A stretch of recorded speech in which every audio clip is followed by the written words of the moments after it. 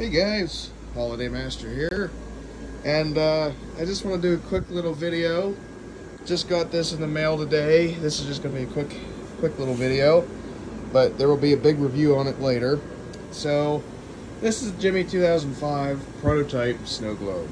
Um, this is all I'm going to show you guys for now. The metal does inflate, but I put a whirlwind to inflate the globe part, so it's not going to inflate right now. But uh, yeah, so globe review coming.